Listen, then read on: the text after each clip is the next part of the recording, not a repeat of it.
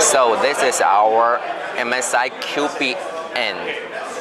Just like here, we call it Cubi N.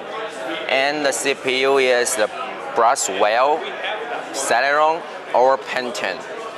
And it supports mSATA SSD and 2.5 inch hard disk because we have two base.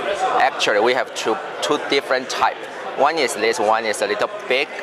It's a support 2.5 inch hard disk. And the other one is the smaller, more slim, just like here, is mSATA. Okay. And here you could see we have HDMI, we have the VGA, and we have the two USB 3.0, and that's for the internet, of course. And this side, we have two USB 3.0. So actually, we have three total. We have three USB ports. Okay. And one thing important is, is fanless. So you you will not hear anything. It's very quiet. So and don't worry about the thermal. We have a very good design for it. Okay. And the size is only around 10 centimeter. It's a little bit little uh, smaller than Intel NUC. And the second one about this. This is the Cubi 2 Plus. We call it a Cubi 2 Plus. And this CPU is the desktop CPU. So you could support to the Core up to Core i7, whatever you need. And chipset is H110 or Q170.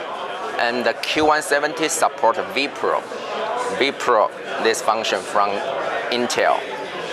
And about the ports, we have two USB, and here is so total three USB 2.0, and one is Type C, Type C USB 3.1 Gen 1, and here is the card reader, okay, and that's for the headset.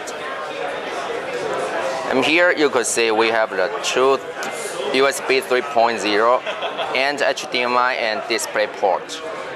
And here HDMI out. So totally we support three three monitor with the Q170 chipset. And this one is the COM port. So it's very good for the commercial user. Yep. And here we have a, a little design and very good for the end user. We have a USB port here and it also supports the supercharger function. That means you don't need to turn on the machine.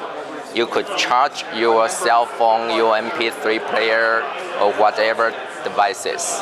Okay. So cyber power goes really well. Um, through, um, And this one is Pro 16 Flex. Because we call it flex because we have the auto rotation function, just like your cell phone. We have, you could do this or do this. Yep, you could see it, it works very smoothly because the CPU is quad-core. Even it's Celeron, but it's quad-core.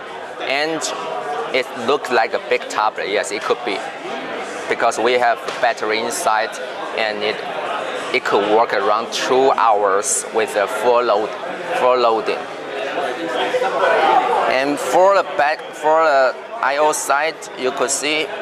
Let me take this out.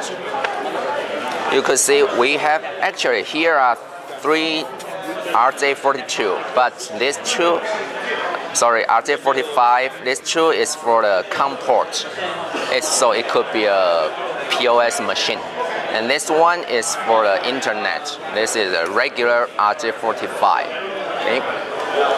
And for here, USB, we have two USB 3.0 here.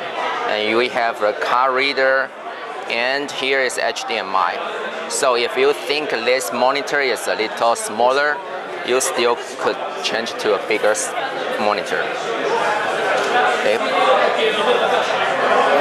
Yep, and this one is with a 10-point touch, so it's very convenient for some family, for kids, for the kitchen, and the most important thing we, we have the mesa, we have VESA mount. So you could mount it on the kitchen or living room, or you could just put it in your your. Yep.